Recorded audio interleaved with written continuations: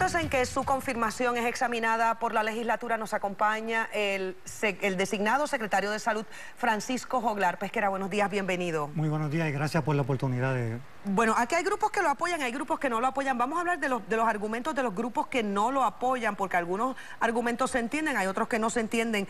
Usted trabajó con varias aseguradoras, con dos aseguradoras específicamente, ¿verdad? Es correcto, sí, trabajé con Triple S y trabajé con el MSO de MMM. Hay gente que está cuestionando si ahora que usted ha sido designado para secretario de salud, usted va a seguir defendiendo los intereses de las aseguradoras o si está claro que su prioridad va a ser defender a los médicos indigentes y a la política del gobierno de Puerto Rico en lo que respecta a salud. La trayectoria mía profesional de toda la vida, 27 años como profesor en la escuela de medicina y luego aún en la práctica privada, siempre ha sido eh, mi compromiso con el más necesitado, con el enfermo, ese es mi, mi, rol como médico y esa ha sido mi trayectoria profesional toda la vida. Sin duda el Departamento de Salud es uno, y la reforma de salud es un botín de contratos que mucha gente, surgen muchísimas discusiones, muchísimas peleas y lo que poca pierde a veces el público de visión es que se están peleando por, por la otorgación de estos contratos.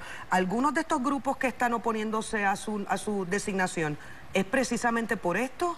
Desconozco la razón, eh, entiendo que son razones personales de los grupos. Eh, mi compromiso es llevar a cabo el programa eh, con el cual esta administración se comprometió, que es llevar al país un, un sistema de salud integrado, al, poniendo al paciente primero y velando por la calidad de los servicios. A eso que nos vamos a dedicar, eh, ya el gobernador anunció que el proyecto demostrativo va a estar ocurriendo en el área oeste y en los próximos meses vamos a estar dedicados todo el tiempo a esa iniciativa. ¿Usted tiene los votos para ser confirmado? Yo tengo información, pero primero quiero que me diga la que usted tiene. Sí, la tenemos coincide con la información que yo he recibido durante el día de hoy, que tiene los votos para ser confirmado. ¿Por qué empezar con un plan piloto y no empezar de lleno cuando ya en este país está más que probado que el sistema actual como está estructurado no funciona? Es que eh, los sistemas de prestación de salud son sistemas muy delicados, muy complejos y hay que llevarlos en una progresión adecuada desmontar un sistema como el nuestro y al otro día montar otro sería un riesgo para el país, algo eh, poco responsable eh, de nuestra parte.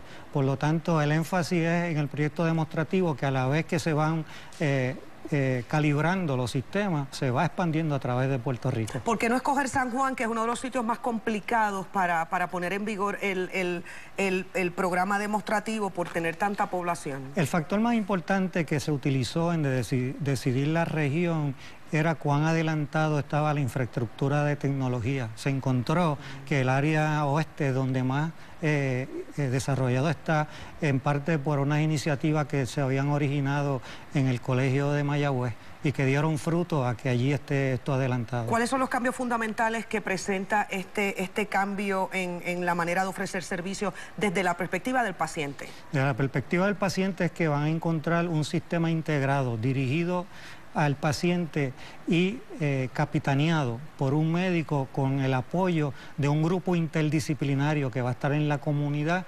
atendiendo las necesidades primarias del paciente. ¿Y cuál va a ser el rol de las aseguradoras? 30 segunditos. Las aseguradoras van a pagar. Van a pagar. ¿Y cuál es la diferencia entre ese rol y el que tienen ahora? Hoy en día las aseguradoras han ejercido política pública y política médica, decidiendo situaciones donde no tenían un rol que jugar. ¿En cuánto tiempo podemos tener este modelo en toda la isla? Debería ser en año y medio más o menos. En año y medio. Bueno, pues estaremos muy pendientes y le daremos seguimiento a esto. Muchísimas gracias por acompañarnos durante el gracias día de por la oportunidad de participar. Bueno,